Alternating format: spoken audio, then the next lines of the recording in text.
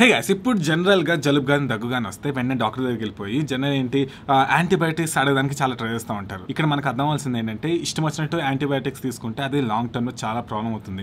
Plus ఇంకో super research ప్రకారం ఏం తెలిసిందంటే సెవెంటీ పర్సెంట్ కన్నా ఎక్కువ ప్రిస్క్రైబ్ చేసిన యాంటీబయాటిక్స్ జనరల్గా అంత ఉపయోగపడదని తెలిసింది అంత అవసరం లేదని కూడా తెలిసింది. సో అందుకనే యాంటీబయాటిక్స్ తీసుకునే ముందు చాలా జాగ్రత్తగా ఆలోచించుకోవాలి. సో అయితే గుర్తుపెట్టుకోండి ఎప్పట్లాగే ఇది మెడికల్ అడ్వైస్ కాదు నేను మెడికల్ ప్రొఫెషనల్ కాదు. నేను నేర్చుకున్న ఈ బుక్స్ నుంచి ప్లస్ ఇంటర్వ్యూ చేయటం ఎంతో వరల్డ్ క్లాస్ ఎక్స్పర్ట్స్ ఎక్స్పర్ట్స్ని ఇంటర్వ్యూ చేయటం ద్వారా తెలుసుకున్న ఇన్ఫర్మేషన్ ఇంకా మామూలుగా రీసెంట్ రీసెర్చ్ అవన్నీ స్టడీ చేసిన తర్వాత నేను తెలుసుకున్న ఇన్ఫర్మేషన్ మీకు ఎడ్యుకేషన్ పర్పసెస్ కోసం ఇస్తున్నాను. ఏ ఫర్దర్ డెసిషన్ తీసుకోవాలన్నా కూడా మీరు జనరల్గా మీరు రీసెర్చ్ చేసుకోండి. కింద డిస్క్రిప్షన్లో నేను అన్ని చదివిన స్టడీస్ సంబంధించిన పెడతాను. సో దాన్ని చూసే మీరు తెలివిగా డెసిషన్ తీసుకోండి. సో మనకు ఒకటి అర్థం అవ్వాల్సింది ఏంటంటే మనము మనం కాదు. ఏంటి మనం మనం కాదా అంటే ఏంటంటే మనము మొత్తం మనం బయట లోపల ప్రతి చోట బ్యాక్టీరియాతో నిండిపోయి ఉన్నాం. ఎన్నో ట్రిలియన్స్ ఆఫ్ బ్యాక్టీరియాతో మనం నిండిపోయి ఉన్నాం. అర్థమైందా? చాలా మంది అనుకుంటూ ఉంటారు ప్యూర్గా క్లీన్గా ఉంటేనే మనుషులు అంటే కాదు. అప్పుడు మనం మనుషులు అనుకోవాల్సిన అవసరం లేదు. మన బాడీలో చాలా ఉపయోగపడే బ్యాక్టీరియా ఉంటుంది. అసలు బయట ఉంటుంది. చాలా ప్రతి చోట మీరు బ్యాక్టీరియాతో నిండిపోయారని అనుకోండి. ఫస్ట్ అది క్లారిటీ ఉండాలి. ప్లస్ ఇంకొక ఆశ్చర్యం కలిగేది ప్లస్ చాలా మంది తెలియదు ఇది ఏంటంటే చాలా వరకు ఇన్ఫెక్షన్స్ వస్తాయి కదా. ఆ ఇన్ఫెక్షన్స్ మేజర్గా ఏంటంటే వైరస్ వల్ల వచ్చే వైరల్ నేచర్ వేసే బ్యాక్టీరియా వల్ల వచ్చే చాలా రేర్ ఉంటాయి. కానీ కొన్ని ఇన్ఫెక్షన్స్ బ్యాక్టీరియా వల్ల వస్తాయి. కానీ అవి కొన్ని. మీకు అర్థమవుతుందా? సో ఇప్పుడు నేనేం చెప్పాను? మామూలుగా చాలా వరకు ఉన్న ఇన్ఫెక్షన్స్ వైరస్ వల్ల వస్తుందని తెలిసింది. ఓకే? వైరల్ నేచర్ అని తెలిసింది. సో యాంటీబయాటిక్స్ ప్రిఫర్ చేస్తే అసలు ఉపయోగపడుతుందా? యాంటీబయాటిక్స్ అనే ఏంటి? బ్యాక్టీరియా చంపేది బేసిక్గా సో మీకు వైరస్ చంపలేనిది మన ఈ వైరల్ ఇన్ఫెక్షన్ వచ్చినప్పుడు వాడితే అసలు ఏమైనా యూజ్ ఉందా? అది ఒక్క కామన్ సెన్స్ చాలా మంది మర్చిపోయారు. ఇప్పుడు జలుబు కానీ దగ్గు కానీ అలాంటివన్నీ జనరల్గా ఏంటంటే వైరల్ నేచర్ అంటే వైరస్ వల్ల వచ్చాయి కానీ అలాంటి దానికి మీరు యాంటీబయాటిక్స్ తీసుకుంటే అసలు మీనింగ్ ఏమైనా ఉందా? ప్లస్ ఇంకొక విచిత్రమైనది ఏంటంటే ఇక్కడ మామూలుగా మీరు యాంటీబయాటిక్స్ తీసుకున్నారనుకోండి. యాంటీబయాటిక్స్కి ఓకే ఇప్పుడు ఈ బ్యాక్టీరియాని మనం టార్గెట్ చేద్దాము. ఈ బ్యాక్టీరియా చెడ్డది కాబట్టి వెళ్ళి దాన్ని కొడదామనే ఏం కాన్సెప్ట్స్ ఉండవు. దానికి మంచి బ్యాక్టీరియా ఏంటో తెలియదు చెడ్డ బ్యాక్టీరియా ఏంటో తెలియదు. ఇప్పుడు మీకు చిన్న ఎగ్జాంపుల్ చెప్తాను. ఏంటంటే ఇప్పుడు టెర్రరిస్టులు ఉన్నారని ఎక్కడో ప్లేస్ తెలిసింది ఒక సిటీలో ఓకే? ఇప్పుడు వెళ్ళి వాళ్ళని చంపడం బదులు మొత్తం సిటీ మీద న్యూక్లియర్ బాంబ్ అలా చేశారనుకోండి ఏమవుతుంది?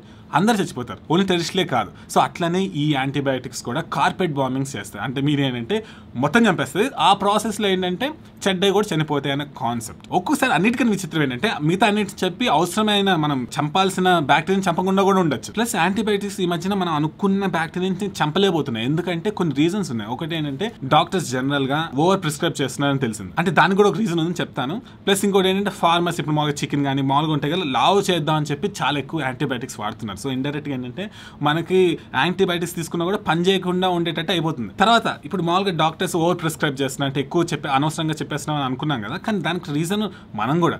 చాలా మంది పేషెంట్స్ ఏంటంటే ఎక్స్పెక్ట్ చేస్తున్నారు యాంటీబయాటిక్స్ ఇస్తారేమో అని. ఒక ఇయలేదు అనుకోండి డిసప్పాయింట్ అయిపోతున్నారు. వైరస్ వల్ల వచ్చిన ఇన్ఫెక్షన్స్ కూడా యాంటీబయాటిక్స్ చంపాలని ఎక్స్పెక్టేషన్స్లో ఉన్నారు. ఇట్లా ఇష్టం వచ్చినట్టు యాంటీబయాటిక్స్ తీసుకున్నాం అనుకోండి అప్పుడు ఏమవుతుందంటే సూపర్ బ్యాక్టీరియా వస్తుంది. ఏంటంటే ఇట్లా సరిగ్గా వాడుకున్న ప్లస్ ఓవర్ ప్రిస్క్రైబ్ చేసుకుని ఏం చేస్తారంటే కొన్ని బ్యాక్టీరియాస్ ఏమవుతాయంటే తట్టుకొని తట్టుకొని తట్టుకొని ఏంటంటే మరీ స్ట్రాంగ్ అయిపోతాయి. అప్పుడు ఏమవుతుందంటే ఎన్ని యాంటీబయాటిక్స్ వేసినా దాన్ని ఏం చేయలేరు. ఇది ఎలా ఉందంటే నైన్టీన్ ట్వంటీ ఎయిట్ కన్నా ముందు స్టోరీ వెళ్ళిపోయే ఛాన్స్ ఉంది. ఫ్లెమింగ్ మామూలుగా యాంటీబయాటిక్స్ పెన్సిలిన్ ఈ కాన్సెప్ట్ ఉంది కదా. ఇవన్నీ కనిపెట్టక ముందు ఎలా ఉండేది? ఇప్పుడు జనరల్గా ఒక్కోసారి మేకు మీద కాలు పెట్టినా లేకపోతే ఏమైనా సడన్గా చేతి గట్టి గీసుకున్నా దానివల్ల కూడా చనిపోయే ఛాన్సెస్ ఉన్నాయి. ఎందుకంటే యాంటీబయాటిక్స్ పనిచేయవు కాబట్టి. సో అందుకని ఇష్టం వచ్చినట్టు యాంటీబయాటిక్స్ వేసుకోవడం అనేది తప్పు. ఒకటైతే క్లారిటీగా అర్థమైంది కదా ఏంటి మిస్యూజ్ చేస్తే యాంటీబయాటిక్స్ అది ఒక మిస్టేక్తో సమానం ఓకే? ఎలా ఏ కారణం అని చెప్పండి మిస్యూజ్ చేస్తే తప్పు.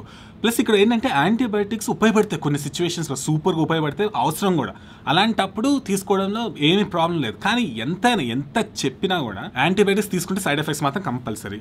మీ మీకు మంచి కాజ్ కోసం తీసుకున్నా చెడ్డ కాజ్ కోసం తీసుకున్నా సైడ్ ఎఫెక్ట్స్ అయితే గ్యారంటీ. అలాంటప్పుడు అసలు ఉపయోగపడద్దు అనే సిచ్యువేషన్స్ తీసుకోవడం అనేది మూర్ఖత్వం. ప్లస్ చాలా మంది తెలియదు ఏంటంటే యాంటీబయాటిక్స్ ఎక్కువ తీసుకుంటే వెయిట్ పెరుగుతారు. ఒబిసిటీ కూడా వచ్చే ఛాన్సెస్ ఉంటుంది.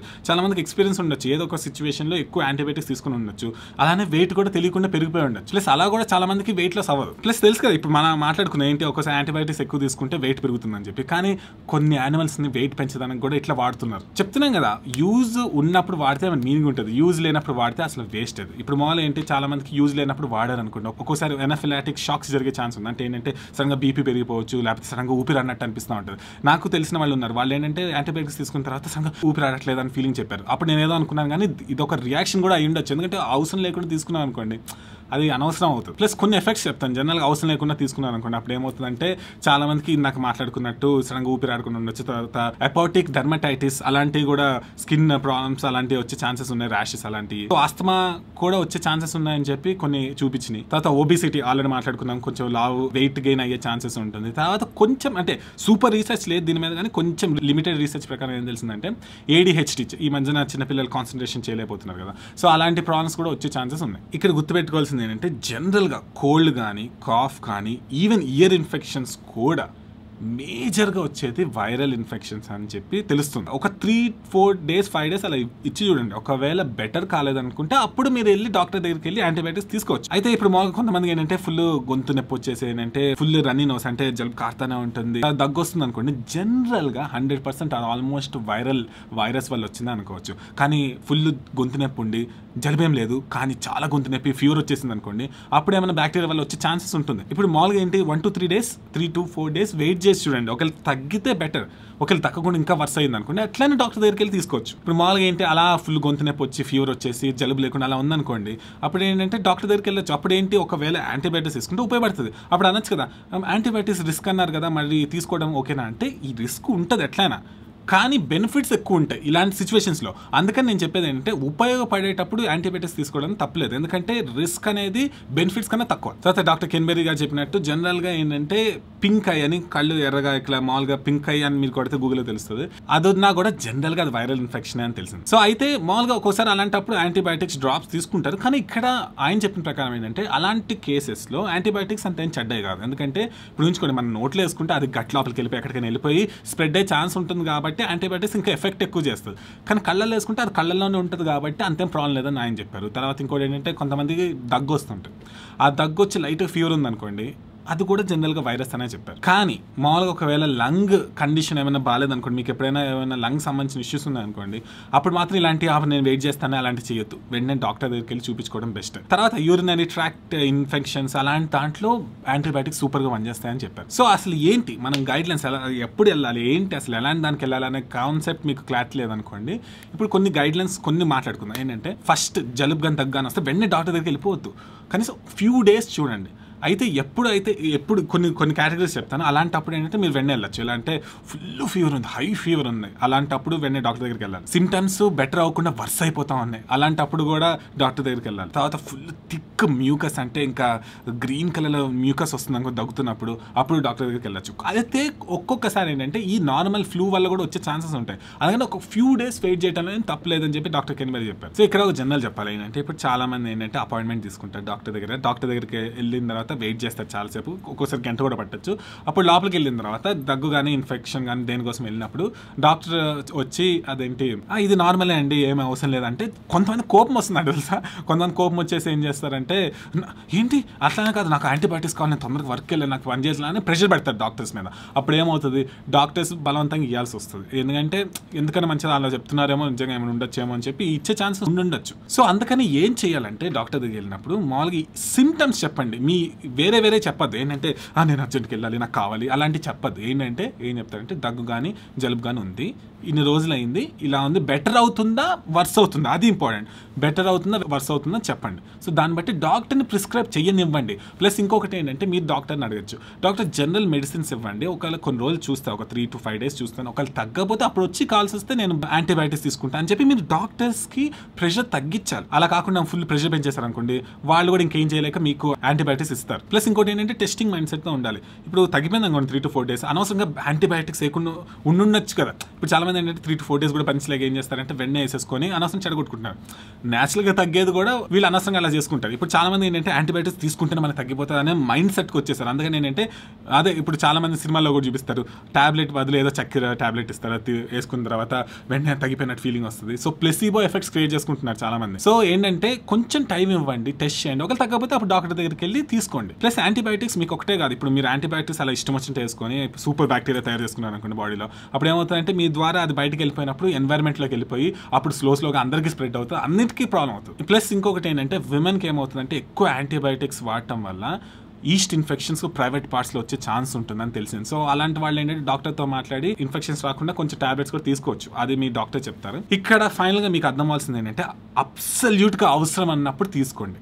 అవసరం లేదు క్లారిటీ లేదన్నప్పుడు తీసుకోవద్దు. ఎందుకంటే మీకు అవసరం లేదో లేదో తెలియలేదు అనుకోండి అవసరం పడేటట్టు సిచ్యువేషన్ జరుగుతుంది అప్పుడు తీసుకోవచ్చు ఎట్లయినా కానీ రిస్క్ ఉంటుందని గుర్తుపెట్టుకోవాల్సిన అవసరం ఉంది. అందుకని ఇష్టం వచ్చినట్టు తీసుకోవద్దు. ప్లస్ చిల్డ్రన్కి ఇది నేనేం చెప్పట్లేదు. చిల్డ్రన్ వేరే కాన్సెప్ట్ అడల్ట్స్కి ఇదంతా రీసెర్చ్ అయ్యేంత. చిల్డ్రన్కి ఏంటంటే ఒక్కోసారి నిజంగానే సివియర్ ఇన్ఫెక్షన్స్ అవన్నీ జరిగే ఛాన్సెస్ ఉంటుంది. సో అందుకని ఏంటంటే డాక్టర్స్ కొంచెం ఎక్కువగానే యాంటీబయాటిక్స్ ఇస్తారు. దాంట్లో తప్పు లేదు. సో గుర్తుపెట్టుకోండి. ఇది చిల్డ్రన్ గురించి కాదు వీడియో అడల్ట్స్ గురించి. సో రీసెర్చ్ కూడా నేను డిస్క్రిప్షన్లో పెట్టాను. ఆ స్టడీస్ కూడా చదవండి మీరు చదివితే బాగుంటుంది. సో అందరికి ఉపయోగపడాలని ఇలాంటి వీడియోస్ చేస్తుంది. ఇంకా చాలా వీడియోస్ వస్తాయి. అన్నిటికీ సూపర్గా ఉంటుంది.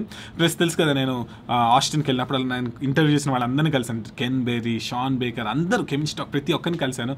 సో చాలా ఇన్ఫర్మేషన్ నేర్చుకున్నాను. అవన్నీ కూడా ఇలా ఇన్ఫర్మేషన్ మీ ద్వారా పెడతాను. సో నా పేరు బిఎన్ఎస్ అది మీకు తెలుసు. మీరు అంత అవసరం అది నాకు తెలుసు.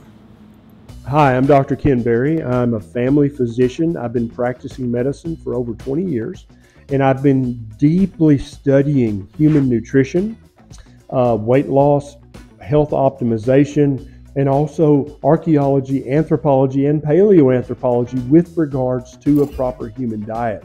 And I can tell you that there's no better source of information in India than BNS's channel. Okay, he and I are good friends. We we coordinate and we collaborate frequently. And he, anytime he has a question about nutrition or what, health topics or medical topics, he asks me. We talk about it. He understands this stuff better than the average doctor. And so I'm not in any way joking or being facetious when I tell you that the the health and nutrition information on his channel is legitimate and I endorse it 100%.